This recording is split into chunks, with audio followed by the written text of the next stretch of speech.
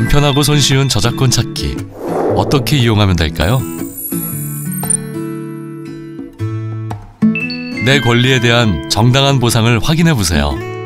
미분배 보상금 대상 저작물 확인. 나에게 분배되지 않는 보상금이 있는지 확인하고 싶으신가요?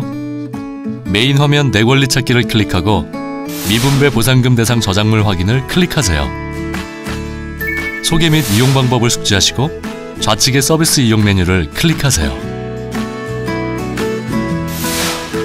내가 창작한 저작물이 미분배 보상금 대상 저작물로 확인된다면 관련 기관으로 연락하여 보상금 분배 절차를 안내받으세요. 저작권자를 찾고 싶으신가요? 메인 화면 검색창에 저작물의 제목 또는 저작권자 이름을 검색해 보세요. 더 상세한 검색 결과가 필요할 경우 상세 조건에 맞추어 검색을 합니다. 저작권자를 찾을 수 없을 때에는 어떻게 할까요?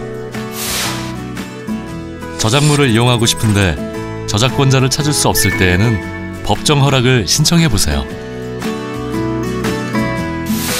한국저작권위원회에서는 저작권자를 찾기 위한 상당한 노력을 대신 수행해 드리고 있습니다.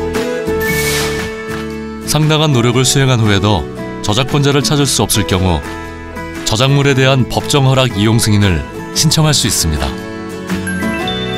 올바른 저작권 문화 이제 저작권 찾기로 시작해 보세요.